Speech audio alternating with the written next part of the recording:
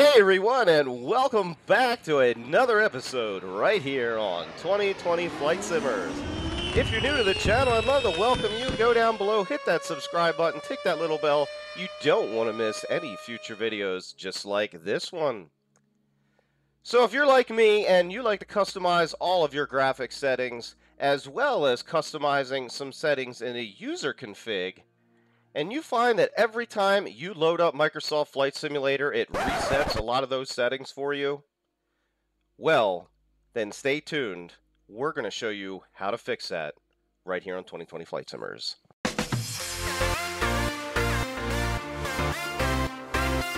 Alright everyone, so this is going to be a very quick video about how to keep your graphic settings from changing on you constantly. So here's my recommendation. You go into your graphic settings on Microsoft Flight Simulator, set everything where you want them to be. Then go ahead and open your user config file. I like to use Notepad++ with it. Open that user config file up and then go ahead and make sure that all your settings are set correctly and that they correspond with what you had set on the simulator itself.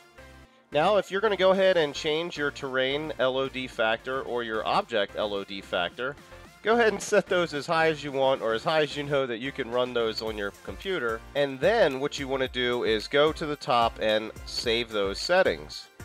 Well, that's not the trick here.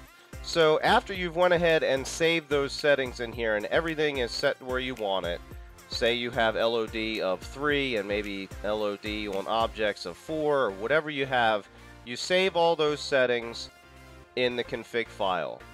The next thing that you want to do is go ahead and you can close out of that configuration file and right here on the local cache where the config file sits, if you right click on that file and go to properties, go right down on the general tab right to read only. So you're going to hit the read only button, tick apply, and then hit OK.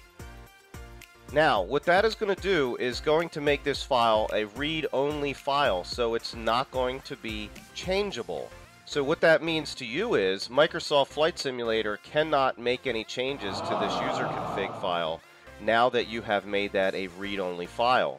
So even if you come into your graphic settings right here and try to change any one of these settings now, it will not update your user config file. So those settings will not take effect I don't even know if they would still show that they're with the setting they are on. In any case, if you want to go ahead and change any of these settings in the future, you would go back and right click on user config, tick on properties, and then untick the read only box right here.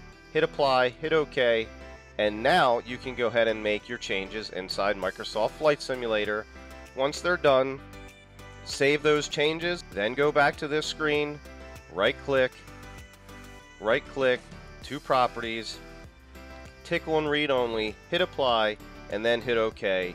So if you were suffering from the dreaded Microsoft Flight Simulator changing all your settings every time you loaded in the simulator, here's your fix. I hope it helped out some people out there. If it did, hit that thumbs up button. And if you haven't done so already, go down below, smash that subscribe, tick that little bell.